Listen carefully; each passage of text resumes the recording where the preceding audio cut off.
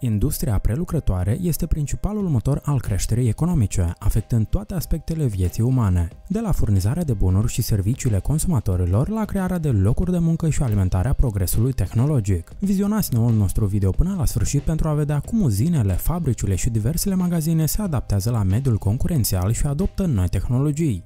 Așa că așezați-vă cât mai comod, pregătiți-vă o limonadă, stoarceți butonașul de like și să începem!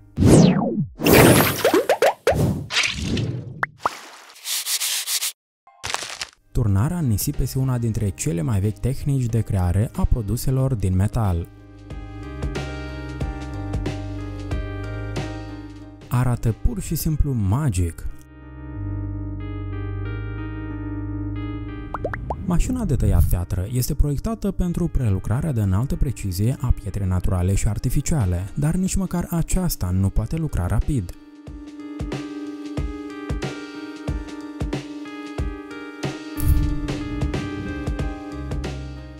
Muncitorilor din această fabrică le este greu să se concentreze asupra oricărui lucru, deoarece acest caramel este literalmente hipnotizant.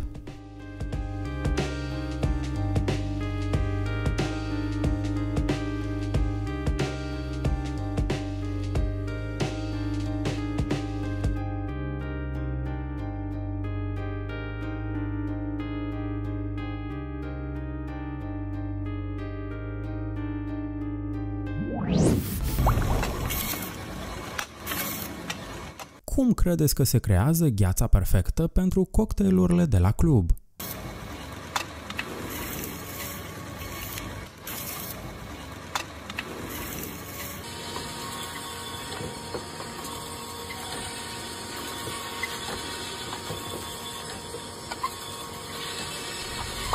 Aluatul de pastă gata este trecut prin extruder și presat prin găuri de configurație dorită. Acesta este modul în care sunt produse diverse forme tridimensionale, cum ar fi scoici, spirale și pene.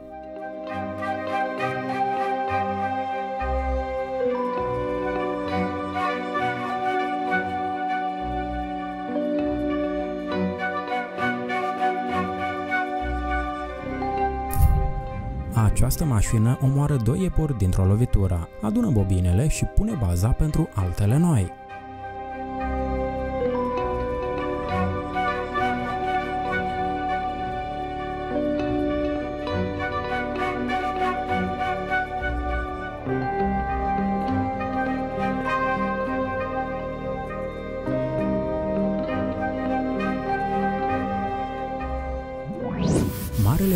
Marele fabrici și uzine de prelucrare a cărnii produc o varietate de cărnați și există tehnologii de producție speciale pentru fiecare tip de cărnați.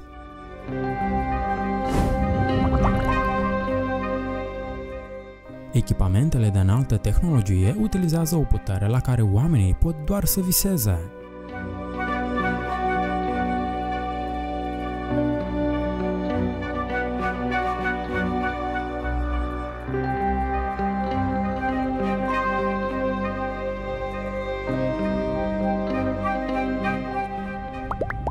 Aceste echipamente de cofetărie sunt caracterizate de un proces de producție complet automatizat. Una dintre trăsăturile principale ale mașinii date este versalitatea aplicațiilor.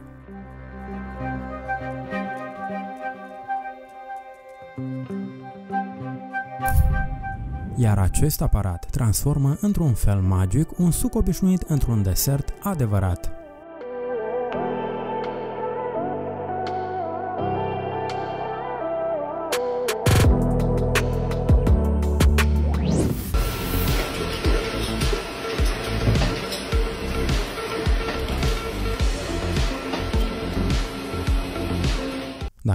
Dacă vă place berea, veți aprecia modul în care aceasta este îmbuteliată și sigilată.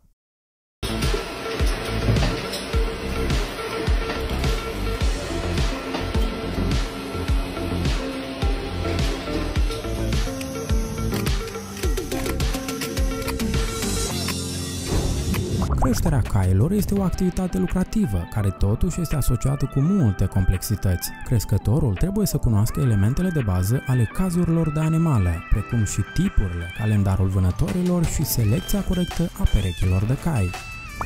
Urmărind acest proces, încep să te concentrezi asupra lui și să te relaxezi.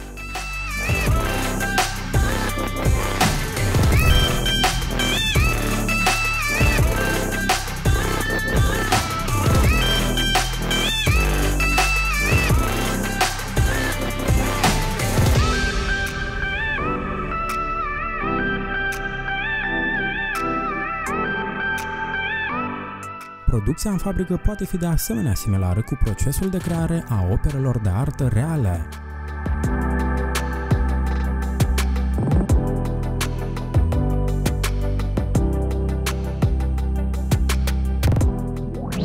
Având în vedere cantitatea de carne și produse din carne, ar fi surprinzător dacă totul ar fi făcut de oameni, fără ajutorul unui echipament special.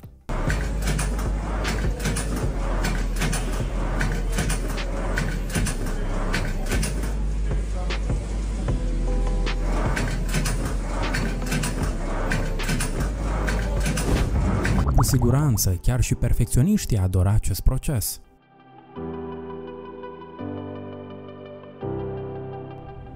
S-ar părea că ce poate fi mai simplu decât producerea unei banale înghețate, dar mașina demonstrează munca fină și puterea ingineriei.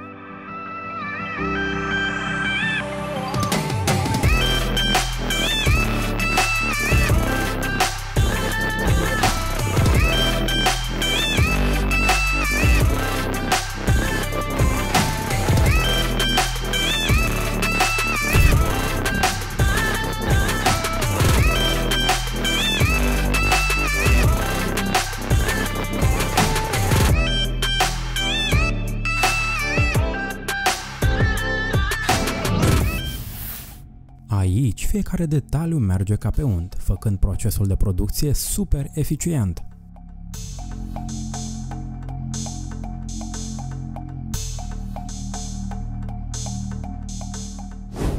Această construcție arată ca un marshmallow. De fapt, este folosită pentru a aplica diverse decoruri pe veselă.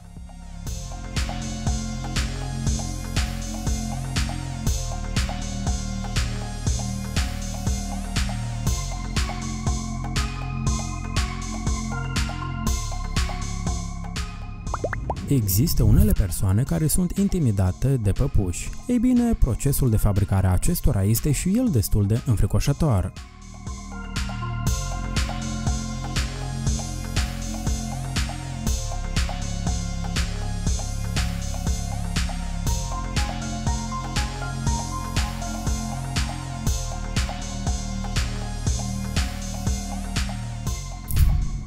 Este fascinant să urmărim cum cele 8 figuri sunt create în sincron.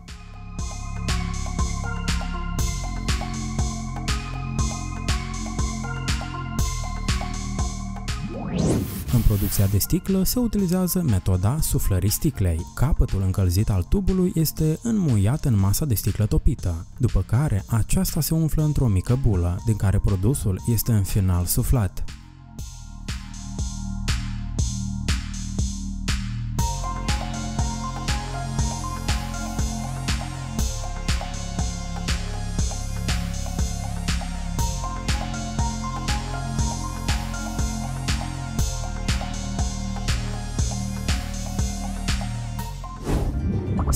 Că și dacă gogoșile ar fi așezate într-o ordine haotică, ele tot ar fi ambalate corect. Cine ar fi crezut că o mașină poate distinge aromele?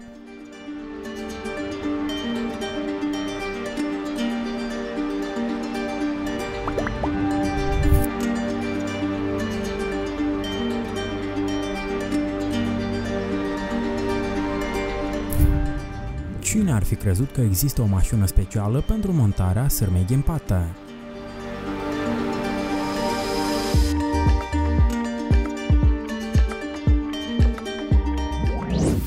Mașinile moderne reduc semnificativ timpul și efortul. Vă permit să colectați rapid și în timp util miere de calitate fără impurități, pentru a păstra integritatea ranelor stupului.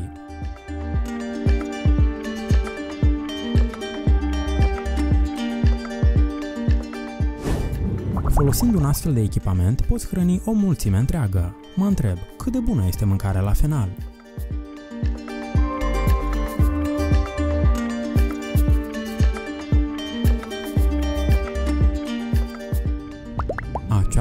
Producția de valize din policarbonat. Acest plastic e elastic și rezistent la influențele mediului. De aia, astfel de produse devin din ce în ce mai populare.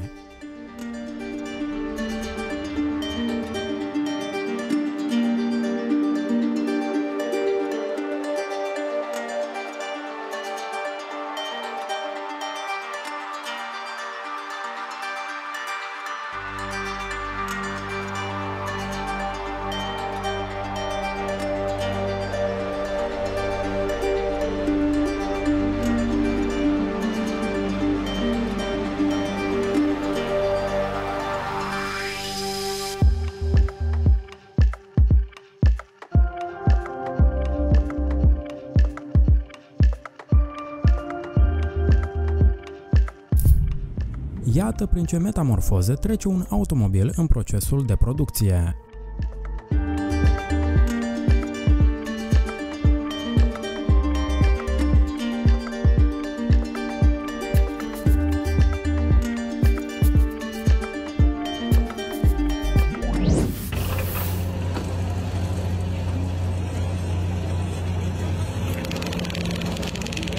Mașină specială pentru tăierea cablurilor asigură separarea miezurilor metalice, conductoare din cupru sau aluminiu de înveliș. Acesta mecanizează procesul de pregătire a deșeurilor metalice neferoase pentru prelucrarea ulterioară. Procesul de turnare prin suflare este una dintre metodele de fabricare a produselor din plastic. Este utilizat pe scară largă în industria ambalajelor, asigurând productivitate ridicată și costuri de producție relativ scăzute.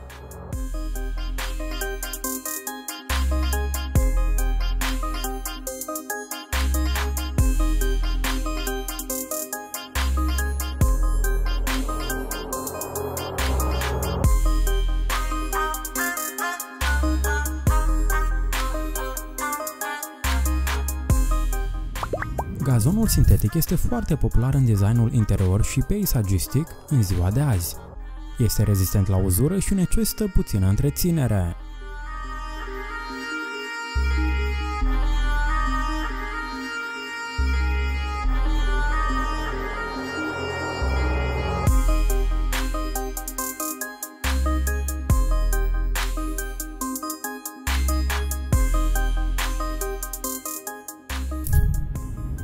Creveților are propriile sale particularități și necesită utilizarea diferitelor tipuri de plase în funcție de metoda de pescuit și de habitatul creveților.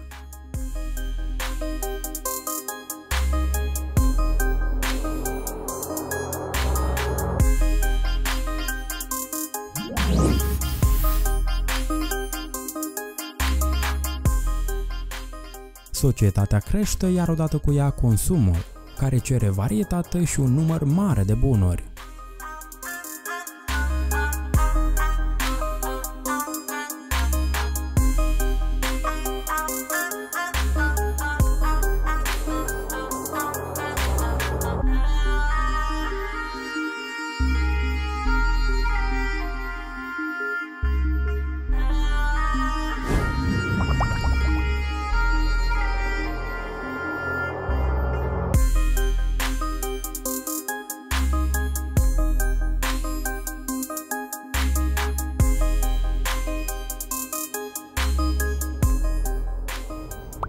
Dacă trebuie să transporti molizi și pini, este mai bine să utilizați o astfel de mașină. Sistemul modular hidraulic permite ambalarea copacului în așa fel încât acesta să-și păstreze aspectul original.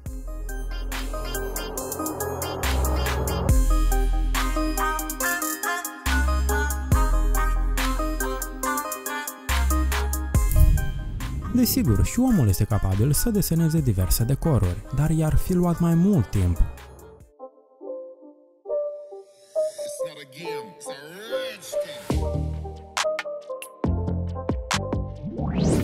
Este greu chiar să-ți imaginezi cât timp i-ar lua unui om să facă asta. Ce proces minuțios, care este de asemenea hipnotizant. Nici un Pikachu nu a avut de suferit, el doar umple jucăria moale cu un fel de material sintetic.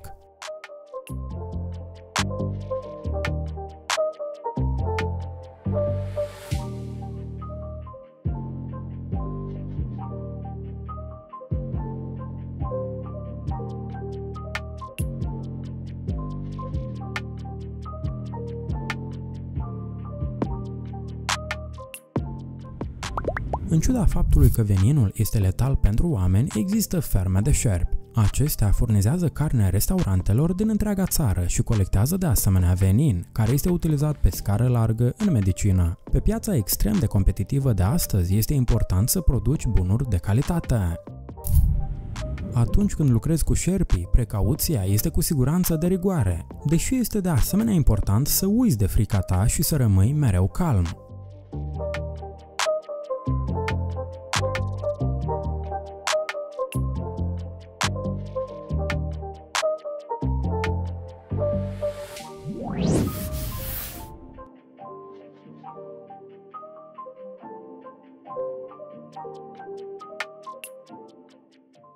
Să fim atenți nu numai la cât de exact se mișcă mașinile, ci și la grija cu care manevrează florile.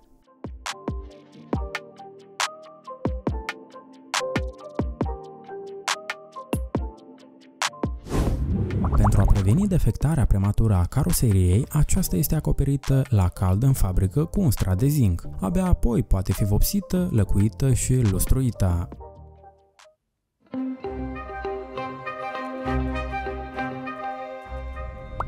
Este practic o muncă de bijutier, care nu poate fi făcută de o ființă umană.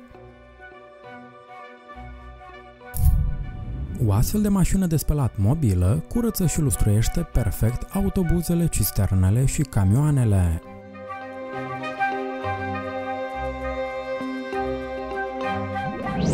Cât de apetisanți arată acești biscuiți, fără ca măcar să fie gata. Cu siguranță pasionații de gătit acasă ar adora și ei un astfel de utilaj.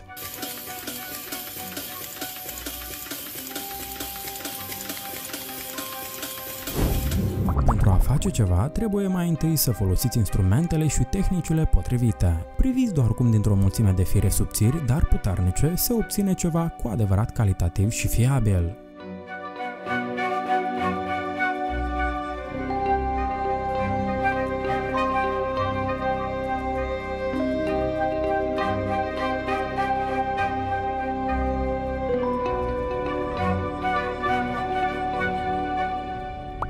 Și vouă vă amintește de un fel de bomboane neobișnuite sau de vată de zahăr? Cu toate astea, e spumă de polietilena, care cu siguranță nu este comestibilă.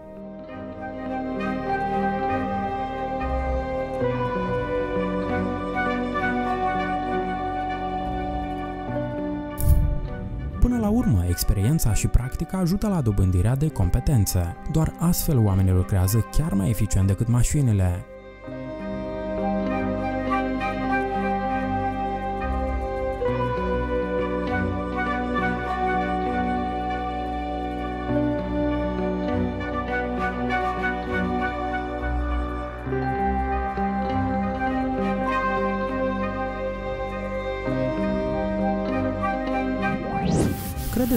Credeți că pajuștele alpine sunt frumoase de la sine? Nu, ele necesită îngrijire și atenție.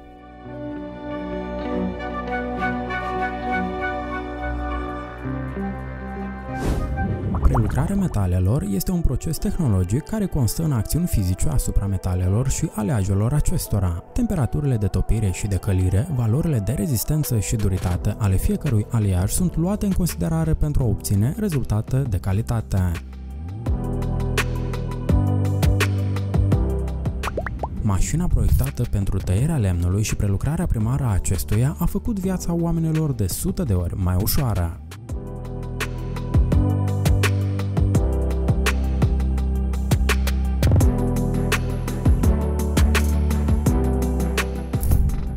Desigur, acest lucru nu face parte dintr-un fire show, ci din producția sârmei de oțel. Din acesta se fabrică fire electrice, arcuri, burghie, convertoare termoelectrice, electrolizi, dispozitive electronice și multe altele.